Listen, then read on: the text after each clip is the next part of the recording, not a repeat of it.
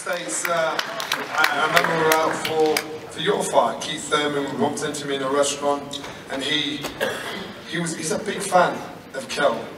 Uh, which surprisingly, you know, he said, I think he's the, he's the top of the bar. You, he thought Kell was the best out there. Um, well, I mean, like, I mean, I don't take anything away from Keith, Keith, Keith Thurman. You know, it's all about timing, you know.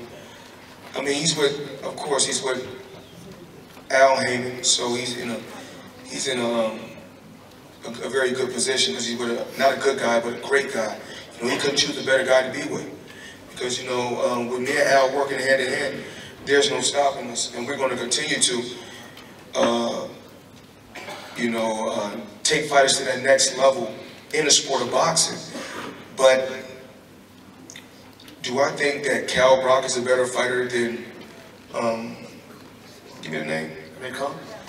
Um, what's the other fighter? Keith Thurman? Yeah, I think absolutely. And I do. I think Keith Thurman. I think it's going. He's going to have a tough fight with the guy that um, Kell Brook beat.